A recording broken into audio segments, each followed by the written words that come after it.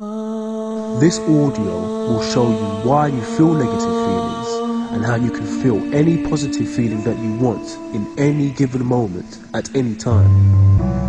First, let's start out here by discovering what a feeling actually is.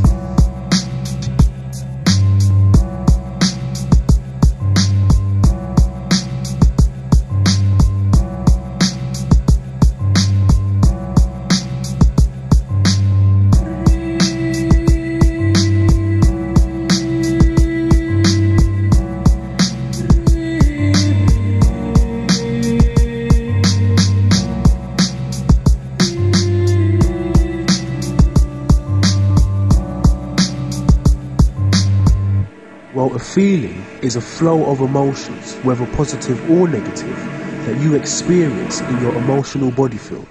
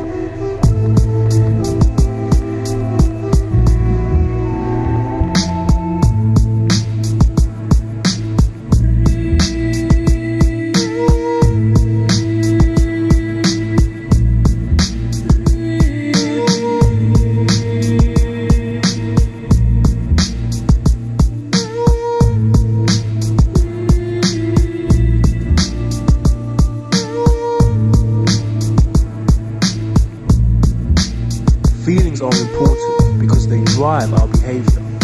For many of us, they determine the quality of our daily lives, whether we think we are capable or not, and whether we are going to feel good about ourselves when we wake up in the morning. We feel different feelings in many different ways. We think about something, and this makes us feel the feeling.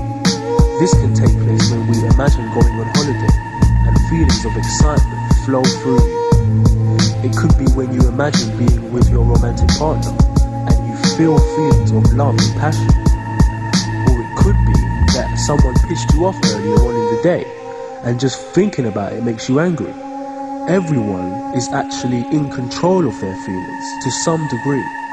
Because as you think about certain things that make you feel happy, this automatically means that you will experience certain feelings depending on what you're thinking about.